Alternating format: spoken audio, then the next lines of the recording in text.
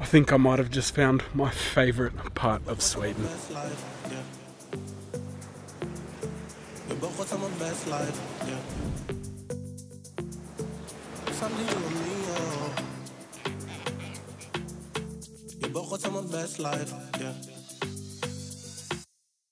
Jumping, flexing, I just want.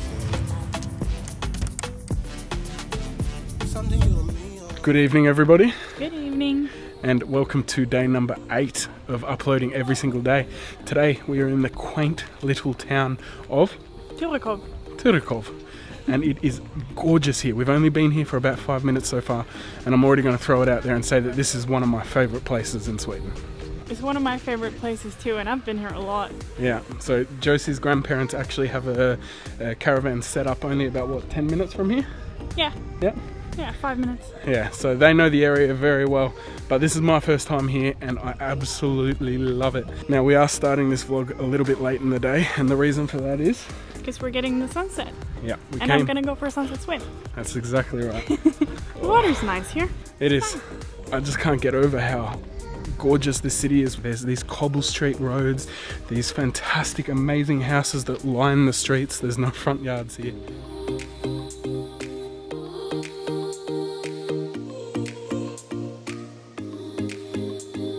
I won't lie, I'm really disappointed that we ate before we came here because these restaurants that line the harbour here are just stunning.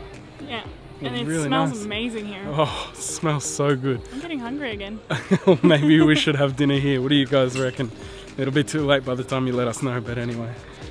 And I just can't wait for that sun to go down, which will be very soon. And we'll be able to get some amazing shots for our Instagram. If you don't follow us there, plug to that at Location Unlocked. Another thing that is really popular to do from here is to go on a seal safari. So you hop on a boat and uh, you go out to an island out there in the ocean, and there's heaps of seals and seal babies that you can look at, and it's amazing. And we are going to go there at one point because uh, Josie's grandpa, who is the one that lives just around the corner from here, actually has a boat and he's offered to take us there. So uh, when it's a nice day like today, we will head out there so we will show you that as well. So remember to stay tuned. If you watched our glamping vlog, which just went up a couple of days ago, you will have heard that we said that Hugh Grant lived really close by, and this is actually the town where he lives. So maybe now, this time, we will bump into him. I hope. Fingers crossed.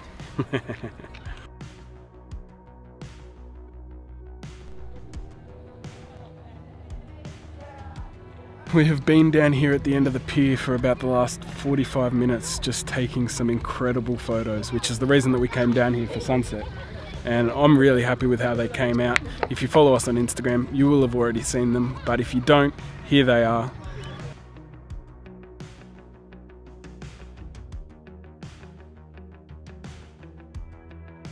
Stellar. So nice. I'm really happy with how it turned out.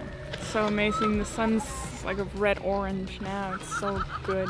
Yeah, it's about to, to hit the horizon, and um, unfortunately, with the camera right now, it can't capture it to its potential. But it is absolutely beautiful. Just move, let these people pass. There's so many people going for nighttime swims. Yeah, it's really popular here. There's, um, I reckon, I've seen about 40 people wearing a bathrobe, uh, which you don't see back home, but uh, it's good to see.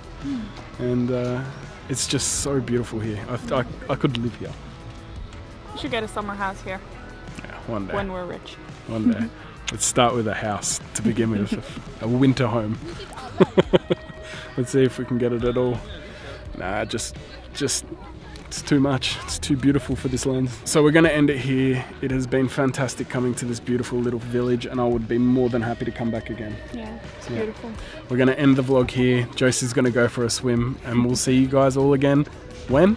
Tomorrow. Tomorrow. Bye.